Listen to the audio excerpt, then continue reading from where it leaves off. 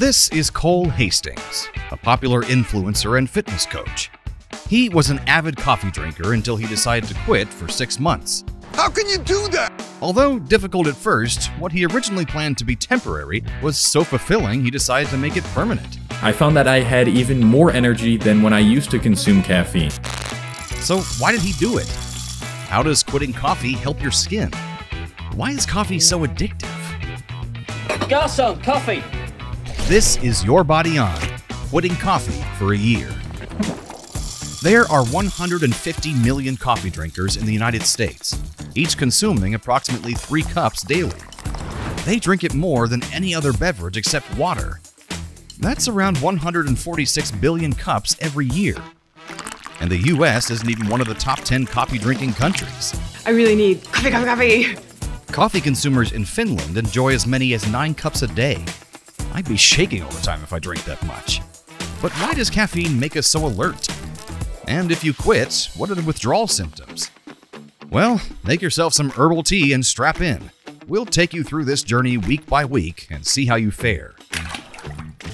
Week 1 You've become so used to your morning coffee that it feels like something is missing. You're groggy and have trouble focusing. That's because caffeine is a stimulant, and you don't have that anymore. Caffeine is the most addictive component of coffee. It's also found in cola and non herbal teas. As a natural substance found in some plants, caffeine stimulates your central nervous system, making you more alert. It also enhances dopamine signals in your brain, helping with both your emotions and staying motivated. You're beginning to question just why you've decided to quit your daily cup of joe. Week 2 The headaches have been horrible. This is because caffeine constricts blood vessels, which reduces blood flow to the brain. Now that you're off the lattes, you'd think things would be better. But the extra blood flow to the brain is making your head pound even more. Don't worry, this is temporary. Your energy levels are so low that you have trouble completing the most basic tasks. You're feeling nauseous and your muscles are sore.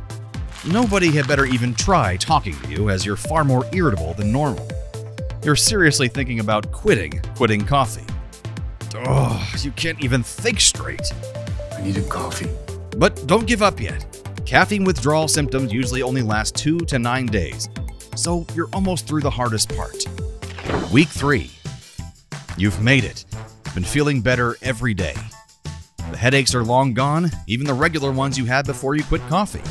Yes, too much caffeine can cause anxiety, but it can also exacerbate mental health issues. These include sleep and eating disorders. As a stimulant, caffeine disrupts your circadian rhythm, affecting your normal sleep cycle. Now that you're off it, you've been sleeping better than you have in years.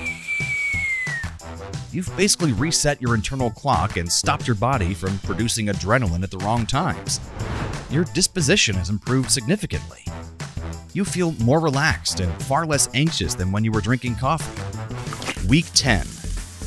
You may have been worried that cutting out those tasty mocha frappuccinos would sap your energy, but lucky for you, that's definitely not the case. The caffeine you used to ingest would give you short spurts of adrenaline to fuel spikes in your energy levels, but that energy is very short lived and disappears quickly, resulting in a system wide crash. Without caffeine, your adrenal glands aren't being excessively stimulated. This allows them to provide lots of natural energy. I feel more hip and energetic now. See, I told you it would pay off. You feel great and ready to tackle your day. Week 26. Not only do you feel good, but you look good as well. Your teeth aren't being discolored by coffee, and your skin has a healthy glow to it. Caffeine can give your skin an unhealthy looking gray tinge and reduce collagen production. With caffeine out of the picture, your skin is more equipped to fight the natural effects of aging. And getting better sleep means you'll have proper beauty rest for your skin to recharge. Week 52. A year has passed and you have no desire to start drinking coffee again. You feel healthier than ever and you've lost weight, especially if you were a two creams, two sugars kind of person. Those calories can add up quickly, especially with flavored coffees that contain large amounts of added sugar. Lately, you've noticed even the smell of sugary coffee turns you off. I don't like coffee. It's a vasoconstrictor. When you started this journey, you worried you would miss your daily ritual.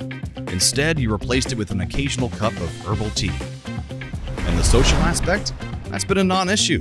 Nobody really cares if you have a juice or herbal tea instead of a coffee. And if they do, well, that's their problem. You feel great, and that's all that matters. If you do decide to quit coffee, don't go cold turkey. Wean yourself off of it slowly to help reduce the nasty withdrawal symptoms.